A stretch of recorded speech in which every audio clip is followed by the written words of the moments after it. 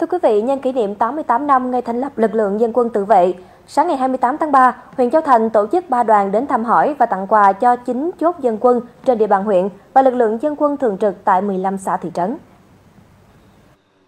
Đoàn đã đến thăm hỏi và tặng quà lực lượng dân quân thường trực các xã Thái Bình, An Bình, Thanh Điền, Long Vĩnh, Ninh Điền, Trí Bình, Thành Long, thị trấn Châu Thành và chốt dân quân Bến Cừ, xã Ninh Điền. Dịp này, thay mặt cho lãnh đạo huyện, Thiếu tá Phạm Văn Quốc, Phó Chỉ huy trưởng Ban Chỉ huy quân sự huyện Châu Thành cùng lãnh đạo các ban ngành huyện đã gửi tặng các đơn vị một phần quà, kịp thời động viên các chiến sĩ đang làm nhiệm vụ thiêng liêng bảo vệ Tổ quốc.